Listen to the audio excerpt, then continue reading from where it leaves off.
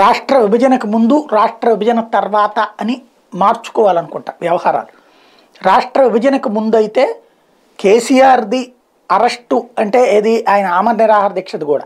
ఆయన కోరుకున్నట్టే నిమ్స్కి తీసుకురావడం లాంటివి జరిగినాయి. జైళ్ళకి పంపించడం లాంటివి చేయలేదు. అంటే అంత సీరియస్ సిచ్యుయేషన్లోనే టీఆర్ఎస్ వాళ్ళని జైళ్ళలో పెట్టడం కానీ ఏం చేయలే. చిన్నపాటి ధర్నాలు ఇట్లాంటి కేసులతోనే సరిపుచ్చారు. అదే రాజశేఖర రెడ్డి అంతకుముందు కమ్యూనిస్టులను దెబ్బగొట్టాలనుకున్నప్పుడైతే వాళ్ళ మీదన అరెస్టులలో సీరియస్ సెక్షన్స్ పెట్టేవాళ్ళు. పోలీ ఏది పోలీసుల మీద దాడి ప్రభుత్వ అధికారుల మీద దాడి ఇట్లాంటి సెక్షన్స్ కింద కేసులు పెట్టేటప్పటికి బయటికి రావడం కష్టమైపోయేది. అందుకనే కమ్యూనిస్టులు అల్లాడిపోయేవాళ్ళు. చివరికి ఉద్యమాలు చాలా వరకు మానేశారు.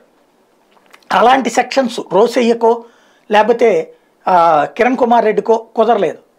అంతకుముందు టీఆర్ఎస్ ఉద్యమాన్ని అణచివేయడంలో రాజశేఖర రెడ్డి ఆ పాత్రే పోషించారు. అలాంటిది రాజశేఖర రెడ్డి మరణం తర్వాతన పరిణామాల్లో కేసీఆర్ అరెస్టే గొప్ప విశేషం. అయితే జైలుకి పంపించే ధైర్యం చేయాలి. కానీ రాష్ట్ర విభజన తర్వాత చూసుకుంటే. అంటే విభజనకు ముందు జరిగింది జగన్మోహన్ రెడ్డి అరెస్ట్ ఒక్కటే కీలకమైనటువంటి పరిణామం. ఏది? ఆయన అప్పుడు ప్రతిపక్ష నాయకుడు కాదు లేదా ఓ పార్టీ అధ్యక్షుడు కూడా కాదు.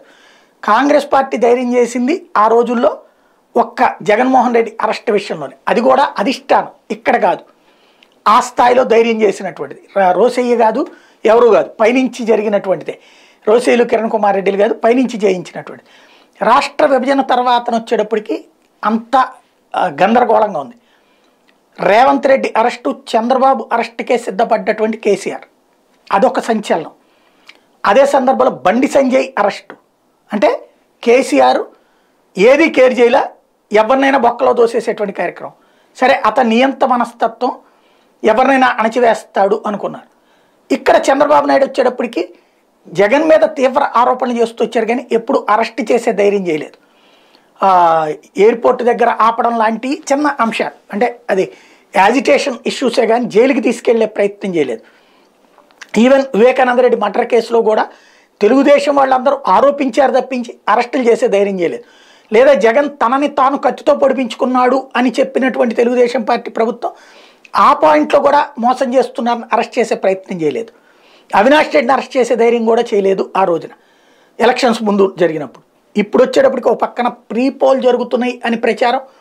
రెండో పక్కన జాతీయ స్థాయి వ్యవహారం నడవబోతుంది అన్నటువంటి ప్రచారం సందర్భంలో అరెస్టులు చేసే ధైర్యం ఎక్కడ చేస్తారు? వీళ్ళిద్దరూ తిట్టుకుంటారు తప్పించి అనుకుంటే సంప్రదాయం. అంటే ఓ రకంగా ఇది ఒక విచిత్ర సంప్రదాయం ఏంటంటే నువ్వు నా జోలికి రాబాకు నేను నీ జోలికి రాబాకు రాను అన్నటువంటిది. విమర్శించుకుందాం రాజకీయంగా. చట్టం ద్వారా రావద్దు అన్నటువంటి ఒక అనధికారిక ఒప్పందమే. అది నేదురుమల్లి జనార్దన్ రెడ్డి అయినా కోట్ల విజయభాస్కర్ రెడ్డి అయినా మరి చెన్నారెడ్డి అయినా రోసయ్య అయినా కిరణ్ కుమార్ రెడ్డి అయినా చంద్రబాబు నాయుడు అయినా రాజశేఖర రెడ్డి అయినా నడిచింది. అలా కాకుండా జరిగినటువంటి ఒక కీలకమైనటువంటి ఉదంతం ఇప్పుడు చోటు చేసుకుంది చంద్రబాబు అరెస్ట్ అన్నది. చైనా భారత్ని దెబ్బ కొట్టడానికి బ్రహ్మపుత్ర నది మీద వంతెన కట్టి దాన్ని ఒక బాంబులా వాడాలని చూస్తుంది. ఇంతకుముందు చాలాసార్లు మనం ప్రస్తావించిన ఇవాళకి జ్యోతి లాంటి వాళ్ళు అది టచ్ చేశారు. ఆంధ్రజ్యోతి లాంటి వాళ్ళు అభినందించాలి. ఇక్కడ మెయిన్ పాయింట్ ఏంటంటే వాటర్నే బాంబుగా. మొన్న ఈ మధ్యన అస్సాం సీఎం ఆ విషయాన్ని ప్రకటించారు కూడా. అక్కడ రిజర్వాయర్ లాగా వాటర్ని స్టోర్ చేసి బాంబులతో దాడి చేయలేక చేయకుండా ఒక్కసారి గేట్లు ఎత్తేస్తుంది వచ్చి మన ఊళ్ళ మీద పడిపోతాయి. తద్వారా మొన్న అస్సాంలో అప్రకటిత వరదలు వచ్చినాయి. అసలు ఏ గొడవ లేదు. ఏ తుఫాన్లు లేవు వర్షాలు లేవు. అకస్మాత్తుగా వరదలు వచ్చినాయి ఈశాన్య రాష్ట్రాలు. చైనా అట్లా వాటర్ని బాంబులాగా వాడుతుంది. ఇది మొన్న గమనించారు. అంటే అంత ముందు నుంచి చర్చ నడుస్తోంది. దానికి చైనా వాళ్ళకి చెప్పి చూసినా నాటకాలు ఆడుతూ ఉన్నారు. ఈ నేపథ్యంలో రివర్స్ గేర్ వేస్తున్నారు.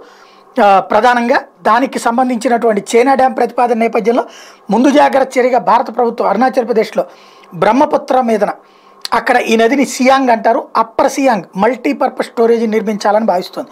తొమ్మిది వందల కోట్ల క్యూబిక్ మీటర్ల నీటిని నిల్వ చేసే జలాశయంగా దీన్ని డిజైన్ చేస్తున్నారు. ఒకవేళ చైనా కనుక టిబెట్ నుంచి నీటిని తమ దేశానికి తరలించకపోతే ఈ జలాశయంలో నీటిని అరుణాచల్ ప్రదేశ్ అస్సాం రాష్ట్రాల్లో బ్రహ్మపుత్ర మీద ఆధారపడిన ప్రాంతాలకి సప్లై చేయొచ్చు. లేదా చైనా పైనుండి నీటిని విడుదల చేస్తే ఆ జలాశయంలో ఒడిసి పట్టచ్చు. ఈ విషయాన్ని ఆ రాష్ట్ర సీఎం పెమాకండు బుధవారం అసెంబ్లీలో ప్రస్తావించారు. చైనా ప్రాజెక్ట్ నేపథ్యంలో సియాంగ్ బ్రహ్మపుత్ర నదిని బతికించుకోవడానికి ప్రభుత్వ స్థాయిలో పలు దశలు చర్చలు జరిగినాయి. పైనుంచి పెద్ద ఎత్తున నీరు విడుదలైనప్పుడు మనల్ని మనం ఆ వరదల బారి నుంచి కాపాడుకోవడానికి పెద్ద పెద్ద నిర్మాణాలు కావాలి. అందుకే కేంద్రం ఈ నదిపై బరాజ్ నిర్మాణాన్ని ప్రతిపాదించిందంటూ పెమాకండ్ చెప్పారు. కేంద్ర ప్రభుత్వ అధికారులు ఇటీవల దీని సర్వే కోసం వెళ్తే స్థానికులు అడ్డుకున్న నేపథ్యంలో ఆయన అసెంబ్లీలో ప్రస్తావన తెచ్చారు. ప్రతిపాదిత బరాజు నిర్మాణ ప్రాంతంలో తాను పర్యటించి అక్కడి వాళ్ళ సహకారం కోరతానని నిర్మాణానికి సంబంధించిన సర్వే ఇన్వెస్టిగేషన్ అడ్డుకోవద్దని కూడా వేడుకుంటానని చెప్పారు. చైనా భారీ డ్యాంకి విరుడుగా తలపెట్టిన అప్పర్ సియాంగ్ మల్టీపర్పస్ స్టోరేజ్ నిర్మాణానికి సంబంధించి జాతీయ జల విద్యుత్ కేంద్ర కార్పొరేషన్ ప్రీ ఫీజిబిలిటీ నివేదికను భారత కేంద్ర విద్యుత్ ప్రాధికార సంస్థకు సమర్పించింది. నిర్మాణం పూర్తయితే దేశంలోనే అతిపెద్ద జల విద్యుత్ కేంద్రం అవుతుంది. దీని ద్వారా పదకొండు గిగావాట్ల విద్యుత్ ఉత్పత్తి చేస్తారు. అయితే నిర్మాణానికి దాదాపు నో- ఒక- లక్ష పదమూడు వేల కోట్ల రూపాయలు అవుతుంది. మోడీ సర్కార్ ఇవ్వడానికి సిద్ధంగా ఉంది. మన ఈశాన్య రాష్ట్రాల రక్షణతో పాటు చైనాను దెబ్బకొట్టేందుకు